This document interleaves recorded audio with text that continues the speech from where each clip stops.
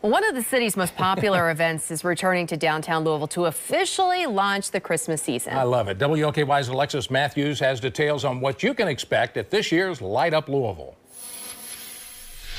Jingle bells, jingle bells, jingle all the way.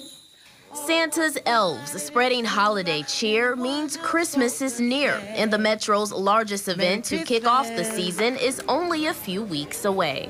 The real Santa Claus, his first stop on the world tour is New York City Thanksgiving Day. Stop number two is Louisville, Kentucky. Light Up Louisville, a beloved tradition, brings Old St. Nick and Louisville families downtown the day after Thanksgiving.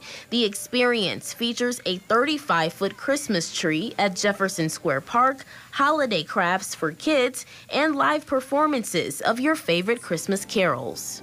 Hear the snow crunch, see the kids bunch.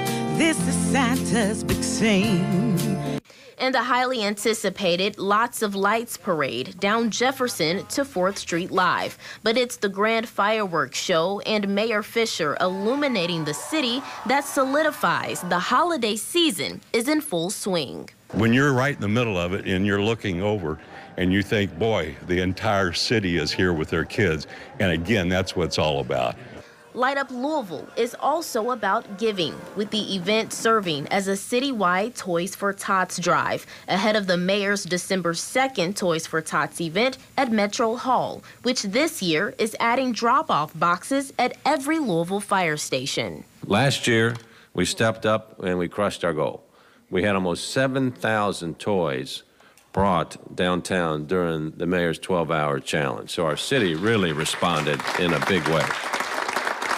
As the city gears up to celebrate the spirit of the season, event organizers are confident it'll be a safe one. There's no question in my mind about that. Uh, if there was any question, we would have big resolve about bringing somebody in as important as Santa Claus and families within the community. Happy holidays!